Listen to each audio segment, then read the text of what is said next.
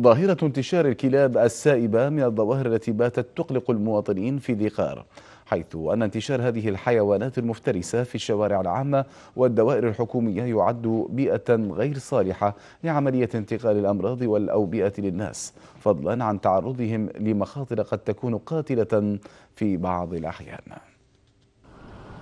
لم تكن مجرد حيوانات أليفة بل أصبحت خطرا يهدد حياة المواطن في الناصرية لما تسببه من انتشار أمراض وإزعاج كبيرين. الكلاب السائبة بات الظاهرة يعاني منها الذقاريون حيث الشوارع والدوائر الحكومية والمناطق السكنية التي تعج بها. محافظة ذيقار اليوم تعج بالكلاب السائبة والمنتشرة في كثير من المؤسسات حتى الحكومية ومنها المستشفيات وبعض حتى المدارس وغيرها يعني من المنشآت الحكومية.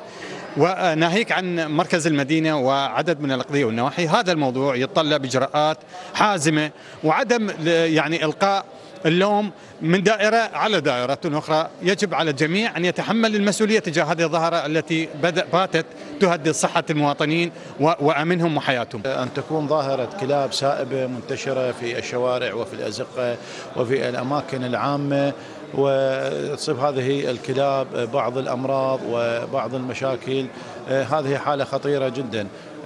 لا بد للحكومة المحلية والدوائر المعنية أن تعي هذه المسألة. في الآونة الأخيرة مما جعل الإعلام يرصد هذه الظاهرة. مديرية البيطرة في الناصرية طلبت الحكومة المحلية في ذي قار بتوفير الخراطيش والموافقات الأمنية لكي تسمح لها بمكافحة الكلاب السائبة. والتي حددت وقت القضاء عليها بخمسة عشر يوما قابلة للتجديد. قدمنا اقتراحا للسيد المستشار الزراعي في محافظة ذي قار بأن يوفر كل دائرة ممكن أن توفر لنا الخراطيش. نحن على استعداد للقيام بالواجب والقضاء والمكافحة ومكافحة الكلاب السائبة.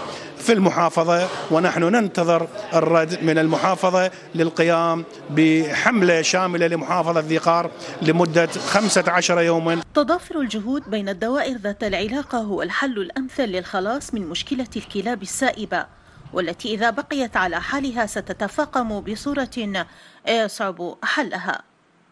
من البدري قناة الرشيد الفضائية الناصر.